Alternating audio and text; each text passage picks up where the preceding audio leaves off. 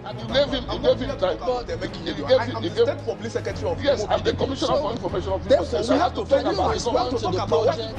Stay Can you apologize? I will not go into the gutters. No, can you. you apologize I for will insulting not the go into. president? I will not go into the For gutters saying you should go back to the hospital I will not go. I will not go. No, I will not. I apologize. will not for- go back. apologize.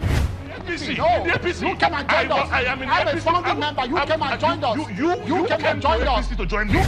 No one should be subjected to this shouting match of talk heads. You know why? More often than not, the essence of discussion gets lost in their petty politicking. Meanwhile, all you just saw now is for show. You would think they have an intense interest of the everyday Nigerian at heart, and that's why they argue in this much on national television. But you'd be wrong. That's why to stay informed, you don't need propagandists having needless argument.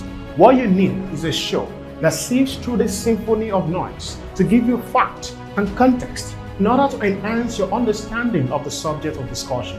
And that show is the Grey Area Show launching on the 16th of September. It's streaming on YouTube every Saturday by 10 a.m. We bring you the news, the facts in there, and the context around it. Kindly go check out our YouTube channel, The Grey Area Show. Subscribe to it. Hit on the notification icon so you don't miss out when we put out our first episode.